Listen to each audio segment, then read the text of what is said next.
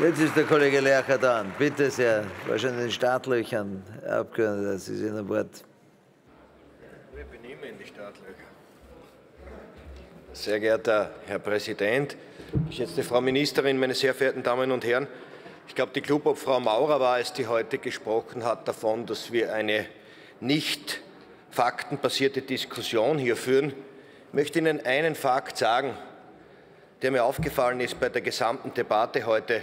Fakt ist, Sie spüren die alltäglichen Sorgen der Österreicherinnen und Österreicher schon lange nicht mehr. Und dieses Faktum zeigt sich in der Debatte und auch in den Maßnahmen, die Sie, die Sie uns vorlegen. Denn der Kollege Kreiner hat vollkommen zu Recht vorgerechnet, Sie machen jetzt noch angesichts dieser Krise mit dem Finanzminister Gewinn. Wir wollen keinen Gutschein, wir wollen einen Preisdeckel und Steuersenkungen, meine sehr verehrten Damen und Herren. Wir wollen einen Staat, der in dieser Krise bereit ist, einzugreifen. Einen Sozialstaat, der die Steuerzahlerinnen und Steuerzahler beschützt angesichts der dramatischen Lage. Wir wollen einen Staat, der den Menschen die Sicherheit gibt, die wissen nämlich nicht mehr, was tun.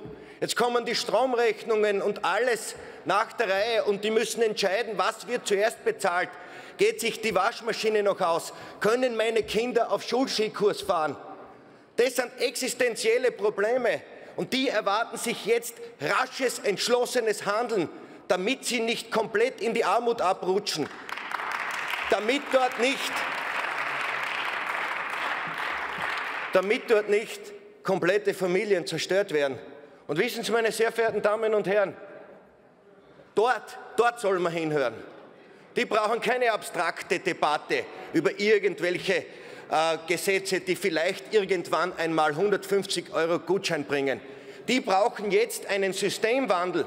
Und das vermisse ich an ihren gesamten Maßnahmen. Sie, sie kleben ein Pflaster dorthin, ein weiteres da.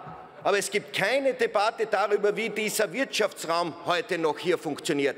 Es braucht nämlich jetzt neue Regeln für unseren Wirtschaftsraum, der es für die alltäglichen Leistungsträgerinnen und Leistungsträger sichert und nicht für ihre Spenderinnen und Spender.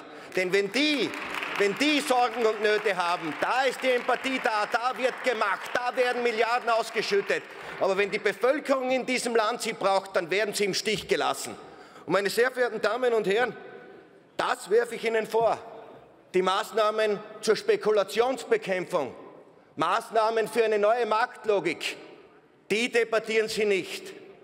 Die müssten wir aber gemeinsam debattieren, denn was hier gerade von Ihnen passiert ist, Sie sehen gerade unglaublich viel Wind, meine sehr verehrten Damen und Herren. Hoffentlich ernten wir gemeinsam nicht einen gewaltigen Sturm.